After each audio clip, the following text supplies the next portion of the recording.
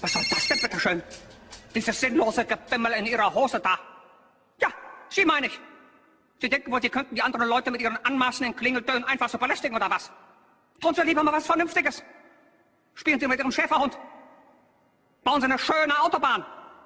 Oder marschieren Sie irgendwo ein. In die Kneipe, in die Oper. Oder ein Puff. So, und jetzt an alle. Dies aus!